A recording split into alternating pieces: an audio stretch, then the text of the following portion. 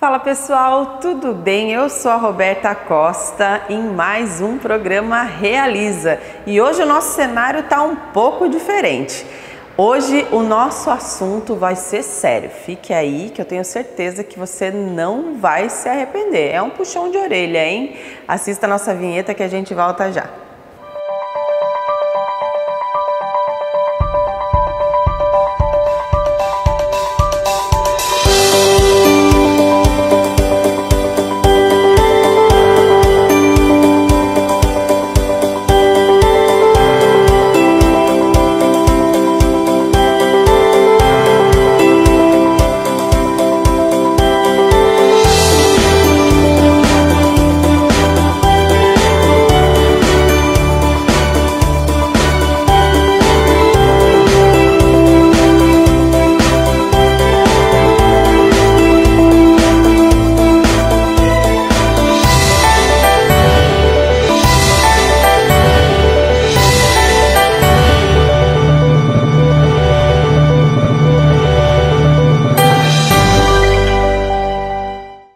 Fala pessoal, tudo bem? Hoje a gente tá aqui, ó, fora do nosso estúdio e a gente tá direto aqui na loja da Demicon em Guaratuba. E vai ser aqui que você será recepcionado quando vier aqui fazer o seu projeto, fazer aí a sua estratégia para realizar na sua vida.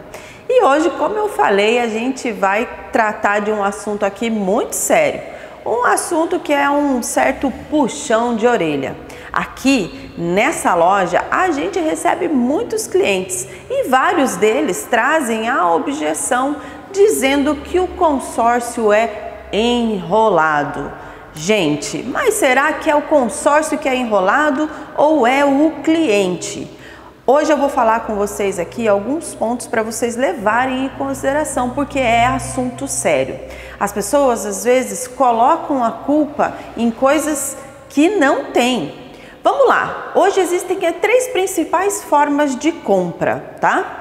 Que é o comprar à vista, que o cliente tem que ter o dinheiro, comprar financiado, aonde o cliente tem que ter a entrada, o score legal, as parcelas são um pouquinho altas e também ele precisa comprovar aí uma renda, certo? E também nós temos o consórcio como ferramenta de compra. Presta atenção no que eu estou falando. Ferramenta para uma compra planejada, onde o cliente precisa o quê? Fazer aportes mensais financeiros e achar uma estratégia para contemplação aí e antecipação do seu crédito. Então a gente falou de quais são as três principais formas. E quando meu cliente fala que o consórcio é enrolado, eu mostro para ele essas três formas e pergunto em qual ele se encaixa mais. E sabe qual que ele me fala geralmente? No consórcio, mas que ele, porque ele não investe lá porque ele acha que é enrolado, que demora. E aí que eu trago uma reflexão para vocês. Quanto tempo vai demorar para você juntar o seu dinheiro para comprar à vista? Pensa nisso, né? Quantos, é, quantos reais você teria que guardar por mês até conseguir comprar o que você deseja à vista? Será que se você optar pelo consórcio, que é uma forma de você guardar dinheiro com rentabilidade e ainda conseguir antecipar o crédito, não é mais inteligente? Não seria menos enrolado?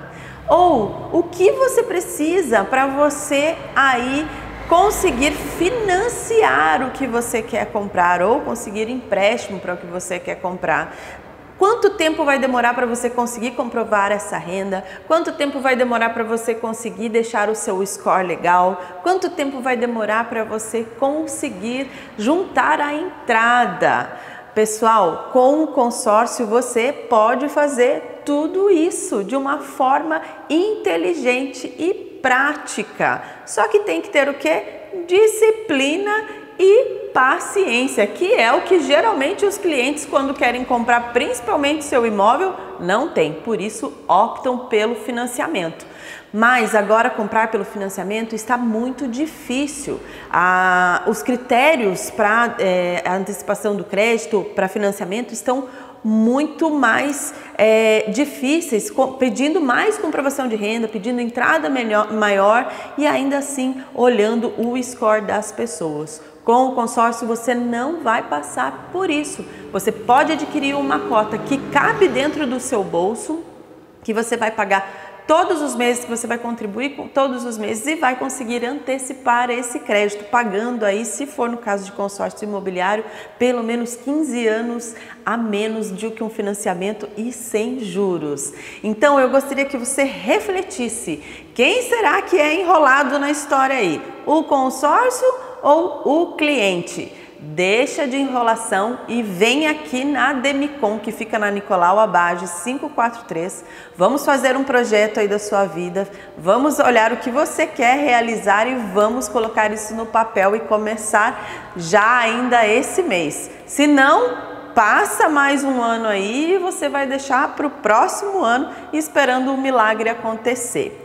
Eu, Roberta Costa, mais outros seis especialistas em consórcio estamos aqui na Demicon de Guaratuba esperando para realizar na sua vida. Espero que vocês não tenham ficado chateados comigo, mas eu precisava trazer essa reflexão para vocês. Até o próximo programa e espero vocês aqui na loja. Tchau, tchau.